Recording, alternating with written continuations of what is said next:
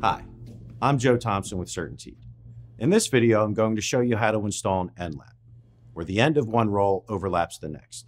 I'll be using Flintlastic SA self-adhered membranes, but the detail steps are the same with any modified asphalt application method.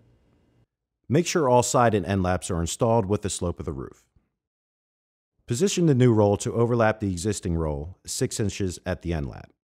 It's helpful to score and leave release film in place until you are ready to adhere the end lap. Adhere the new roll up to the end lap. If no further action was taken before adhering the end lap, this T-lap would be at risk for water incursion through capillary action. To avoid this scenario, using the selvage dimension of 3 inches as your guide, cut the installed sheet on an angle to as close to the 6 inch dimension as possible. We recommend 5.5 inches to avoid overcutting. Now, the T-lap is removed, and the transition will be smooth and watertight.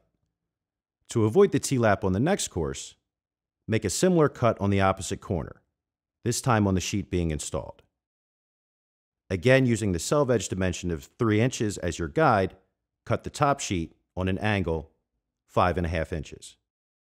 Make all T-lap cuts in the same direction, starting about 3 inches into the roll, cutting out.